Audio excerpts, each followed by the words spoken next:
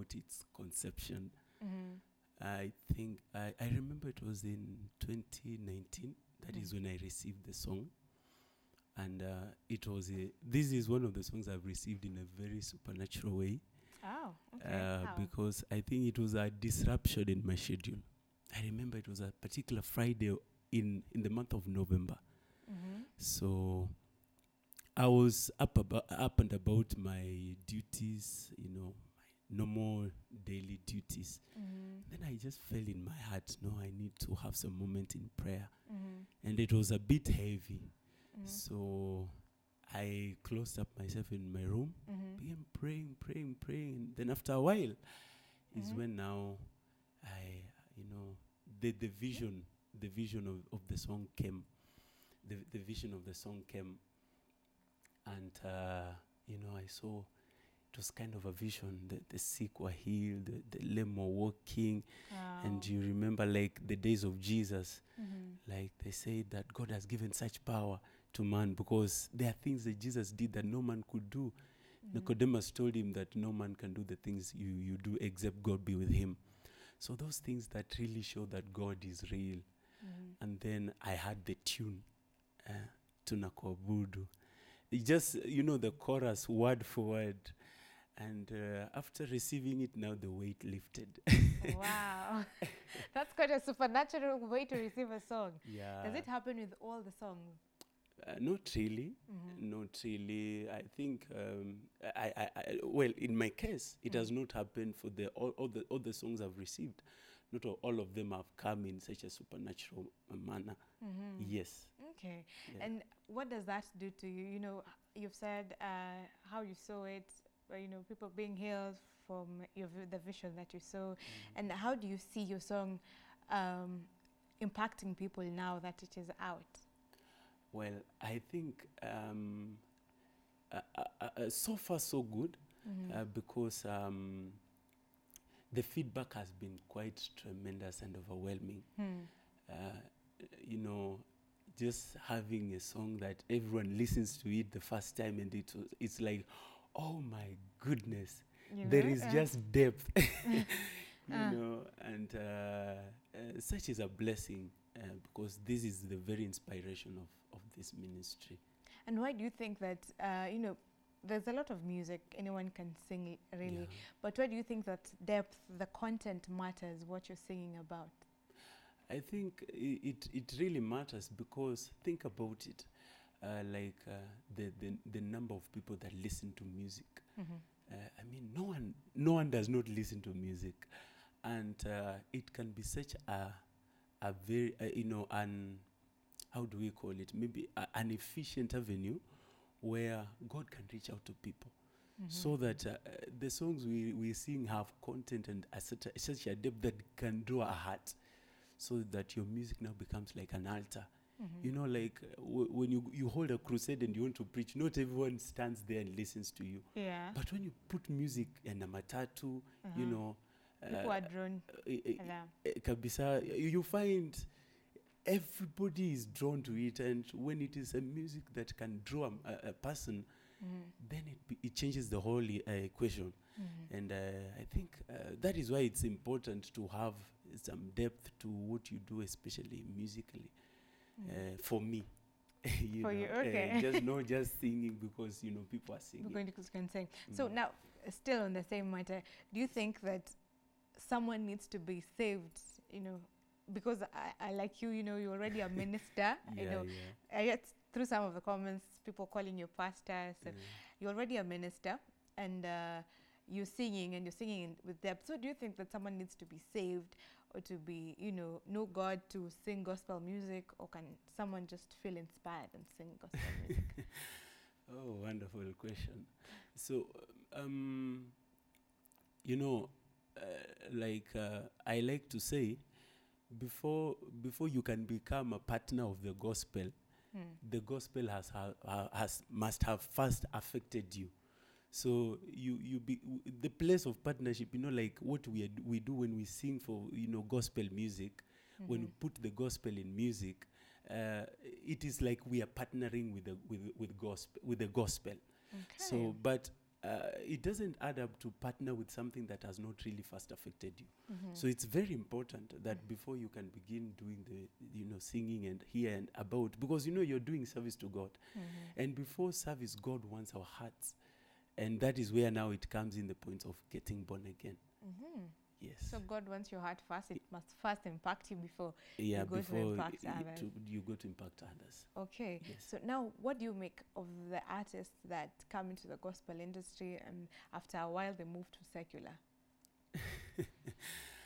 Oh my goodness. uh, well, it's a it's it's it's a tough one. right. Uh, yeah, you know, it's a it's a discussion that has been ongoing. But Mhm. this is my take. You know, first of all, uh, you have to deal with your motivations uh, at first instance. You Mm. define why are you doing what you're doing. Mhm. Because you know, like uh, many people call it gospel music because, because they have had a name God in the in the in the in somewhere, you know, in the lyrics. They have yeah. had Jesus. They have had Mungu Naweza. Uh-huh. Uh, but uh, you know the, the gospel the gospel is that which you know which preaches jesus you know the, the jesus is exemplified in what you're saying Mhm. And of god of course god can use anyone but uh, that point you know uh, you begin and what, what was really your motivation why did you begin you you determine early in time Mm. because uh, you know um, um, I've not experienced certain glories that you know some of the people I look af- uh, up to have uh, you know have already experienced. Mhm. But I like to say that sometimes when you know money and fame, sometimes you're not tempted with money and fame until you have it. You know, a poor man cannot Can- say Can't uh, talk. can, can that say, you know uh, that uh, you know money is tempting me. I have overcome money. But once you have it, Uh-huh. it's where now you know but the, the, the temptations of how money you know can really demand from you Mhm. and it's the same thing with fame and because all these things rotate ar- around money and fame so you have to determine early in time what is your motivation so that even when it comes when it comes to a point you are tempted you know you already know what you live for and you stick on your line Mhm. so it's it, uh, just determine early in time usikuje kama kondoo ambaye amevaa ngozi ya mbwa mwitu ama mbwa mwitu amevaa ngozi ya kondoo and then later you change it, it just you know determine early in time and be let us know that Mhm. nelson anakuanga hivi Okay. yes All right. So we are taking you back to church kidogo too because today we are talking about gospel. So now, um, speaking of that, on, on that still same matter. yes, Now, yes. what do you make of people coming from uh, the secular world to the gospel world and then watu ah, ni kama huyu ni kuna kitu ameona huko probably money, you know, instead, kuna there's better money kwa gospel. What do you think about that? well um, it is very easy to think that way by the way Mhm. uh, before you have been there. Uh, you know, by the time mu- the music has begun paying you, I mean, it takes some time. And uh, so it's not like, you know, like e- as easy as people usually, you know, make of it. Mhm. And um, of course, it's only God who knows the heart of a man. Mhm. So we really do not know the motivation. But if somebody has publicly confessed, you know, that by there I've changed and I've decided to live for Jesus, we take that because that is what the Bible has told us to take of people. You know, we don't begin to to examine is this very genuine or what. I mean, with time, the f- yeah, the, the, Mm. we will now remain with observing the fruits. Because he says you shall know them by their fruits. So we might not really know them, you know, what motivates you, but your fruits, the fruits of your life can tell Double us. show. Exactly. So we'll give Uh-huh. you time, but not, uh, you know, to kiss su- suspicion. So, Mhm. you know, was it very genuine? Was it very genuine? No, no, no, no. Uh, we will accept you because that is the, the, the Bible way of, you know, receiving Jesus and, con- and conversion. So when you accept Jesus in that manner, we'll take it that you are born again. You know, Mm. what follows, uh, we'll tell whether you are genuine The or not. fruits will tell. Yes, okay. And now that you've said mtu akiingia, it's important to have uh, your motivation kwanza uh, set. You know, this is why I want it. But okay, if someone's motivation is right, they want to take Jesus to the world. They want to spread the gospel through their music, Mhm. and but they also want the money aspect of it because if I'm going into it as a career, I also want the money. Mm. So how does they? How do they handle that? Oh, wonderful. Well, you can still pursue music as a career. Uh, Mm. You know, a career is something that gives you a livelihood. And it's like, uh, I like to give an example of some, maybe somebody who is born again, has grown in church, but when they went to pursue their maybe bachelor's or diploma, uh, cert, uh, you know, certificate, they did a music career.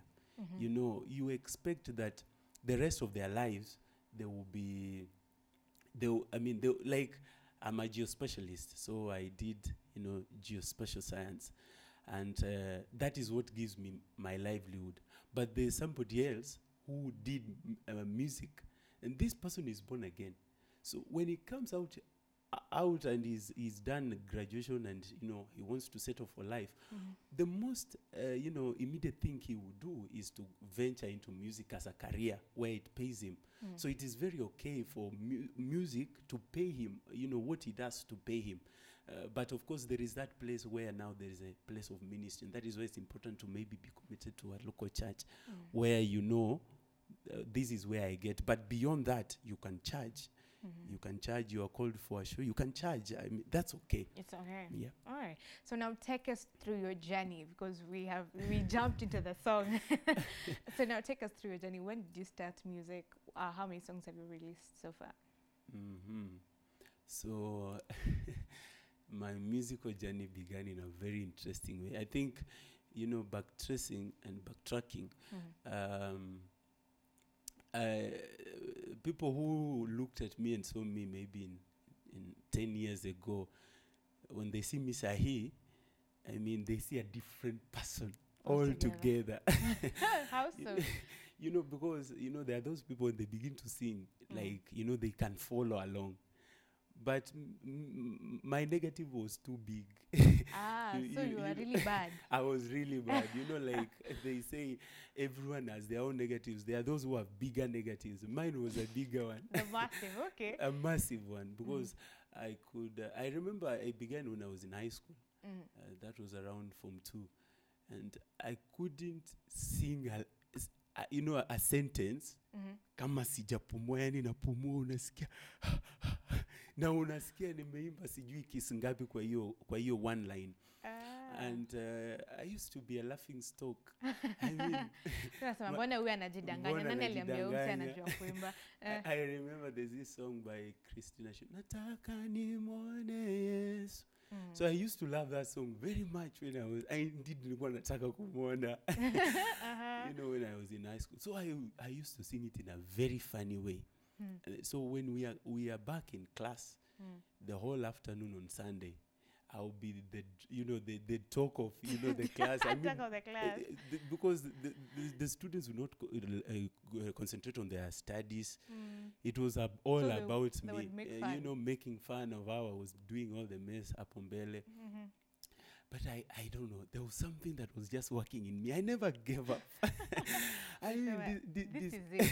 This is my this hapa is- nimeitwa. hapa- hapa nimeitwa. and i Eh. thank god because of the friends i had who used to cheer me up there's a friend of mine he's called bruce i Mhm. mean i don't know what he saw because he used to encourage me he used to encourage me like i was the best singer in the world i used to do exercises here and there when i go, come back home Mhm. i listen to kina tumaini kina solomon mkubwa i try to sing like they are singing and it was quite impactful on my journey until now when i came to campus and i met some good friends who introduced me to other materials that have been in, uh, helpful Mhm. uh, to the point i am and uh, we are still continually self-taught. growing yes yes Pole pole. pole pole So one doesn't have to have the talent, inborn talent to sing. You can teach yourself to sing. yeah you can learn you can learn to- so long as they Mm. normally say so long as you can talk you can sing As long as you go, oh, okay. So there's hope for us. there's no All right.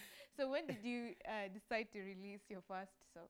Mm, that was back in in 2020. Mhm. Um, um, yeah, that is when you know I felt in my spirit I really need to go to the studio and do some recording. Mhm. We did some friends, and uh, the song is Pendo Kubwa. Pendo Kubwa is Yeah. first song. Yeah. I, I like how you've said I felt in my spirit. Mtu anajiuliza mahali. How do you feel in your spirit? You know, yeah, this time, you know, maybe it's, it's new to someone else. So how do you mean when you say?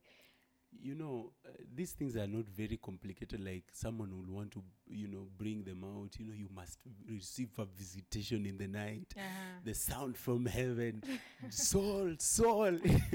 Uh-huh. you know, no, no, no. Uh, Okay, God can still appear to you in that fashion, Mm. but uh, m- rarely will He do such.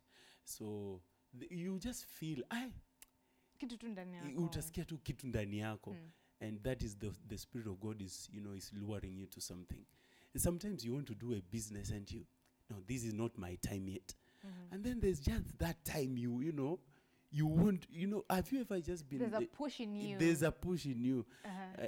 I, I, I remember when I before I began working tho- that month I, I was telling people by the before the end of this month I'll be I'll, I'll have started working because i i knew it It's annoying beyond i- knowing. it's annoying beyond knowing you just know uh-huh. so it's the same thing that happens, and apparently it happens Mm. in every area of our lives. So you just feel that there is something, Mm. uh, there is this direction you need to take. Okay. Yes. All right. So now your second song you released after Pendo. What's Yes. the name of the second song? The second song is Sita Ogopa. Mhm. Sita Ogopa, um, What Uh, inspired it? yeah, pardon? What inspired Sita Oh, Ogopa? Sita Ogopa. Mm. So Sita Ogopa, I think I was I was just uh, doing random meditation, Mhm. and uh, it was so real in my heart that by the God is for us, Mhm. And that is enough reason why not to fear. It doesn't matter what comes against us. It doesn't Mhm. matter what you're going through. Mhm. Like he said, you know, to the children of Israel, you might go, be going through the fire, but it will not burn you. So the fire is not too hot to consume you. So Mhm. with that assurance, it and then the the, the, the tune came, uh, Sita Ogopa, and then the lines. And that was it. I felt it has blessed me. It could bless somebody else. Oh wow, Yes. amazing! Just how you said, it has to have an effect on you first Yes. before it, it affects others. Is there a time where maybe your song you were going through something? Because some people think that wewe ukisha uko, uko sawa watu ukuwa kwa gospel industry yani wewe ndo unaimba so uko sawa upitiangi but is there a time where you are going through something hard and your song ministered to you any of your songs Mm. yeah, of course, you know, challenges, everybody faces challenges, Mm. and it's not strange to face a challenge. Mhm. And um, yeah, I, I remember last year something significant happened Mhm. in my life. And I think during that moment, Pendo Kubwa was a very huge blessing to my heart. But, well, you know, there are those who, who receive inspiration out of the situations they go through. Mhm. I have not received a- song yet out of what I've maybe the bad, maybe the tough situation I've, I've been through. Mm. But there are tough situations I've been through That the songs I've released have been a blessing to me. wow So, yeah, yeah. So we wa- I want you to sing for us Pendo Kubwa Mm. just uh, you know the chorus or something just something small So, nami nina uzima, nina furaha, nimerembeshwa na utukufu wake, ninaangaza wote. yeah. wow amazing. You have such amazing songs that i'm sure they are a blessing. What is that one comment that you received uh, a feedback from the audience that really blessed you that really as in ukajua any this this one it was god. Yani ilikuwa tu for the people. Yeah, I, I remember, uh, you know, when we were doing the release of Tunakuabudu, Mhm. and um, so there's a lady who commented on on the on the on the YouTube channel. Mhm. You know, when you see a true worshiper, you can just know. I mean, that got me thinking. oh, wow. that got me thinking. No, it's not light that there are certain things. Certain, God can cause certain people to see about you, Mm. and it means there is something on your life. Mhm. And you know, there, there was also a certain pastor who shared, and you know, such songs of the presence. I mean, a pastor, and you Uh-huh, know, he's a uh, pastor I really honor. And Ah. having shared the song, I think for me it was very humbling. mhm. So it, it inspired me even the more. okay, so such encouragements push you forward. So tell us uh, where we can find you on your social media handles before you sing for us the last song because we want you to perform for us. Uh, the, the second release song, Sita Ogopa. Okay. So tell the people where to find you. This is your camera, and if you feel like you want to send some shout outs, feel free. Thank you. So, um, I am on YouTube, Nelson Were, and I'm also on Facebook, uh, Were Nelson. I have a Facebook page, uh, same Were Nelson. I also have a Twitter handle at Nelson Were at seven. Um, so I would like to send uh, some shout out. I know there are some friends who are watching. Uh, first of all, I would like to to shout out to my spiritual dad, uh, Pastor Dan Kanatika. I know he's watching. Uh, I'd also like to send out a shout out to my parents and my family, and also to my producer Fidel, and to my friends. I cannot mention all of you. Thank you for tuning in. Wow, amazing. Mm. Take it away, Sita Ogopa. Ah, Okay.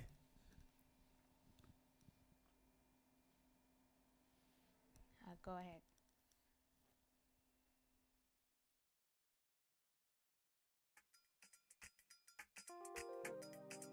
Amenifanyia